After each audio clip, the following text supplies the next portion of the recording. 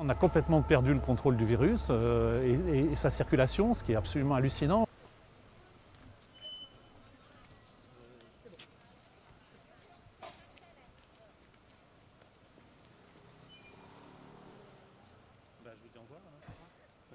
Les personnes ne se sont pas rendues compte de la violence qui se passe ici à l'hôpital, notamment dans cette deuxième vague où il s'agit de faire coexister euh, l'accès des personnes Covid avec tous les autres patients.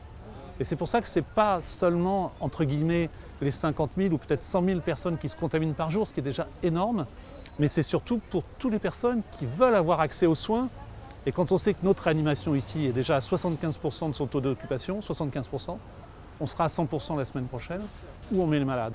La première vague a été quelque chose qu'on a découvert. Chaque jour, on avait trois jours de visibilité sur les stocks de masse, trois jours de visibilité sur les lits, mais ce, trois jours, paradoxalement, nous, nous tenait debout.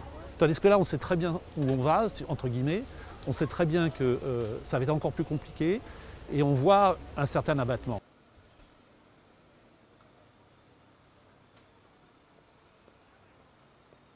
Tout, ce discours euh, qu'on a appelé rassuriste et qui est devenu vite un discours euh, euh, révisionniste, c'est-à-dire où, certains médecins qui passaient sur certaines émissions à longueur de temps nous disaient pas de deuxième vague, le masque ça sert à rien, etc. Donc tout ce, courant de, dénégation plus quand même une, certaine légèreté des Français dans, l'été et, la rentrée qui a été mal anticipée, la rentrée estudiantine, la rentrée professionnelle, la rentrée scolaire, tout ça a, conduit à une, vague plus forte et plus intense euh, maintenant.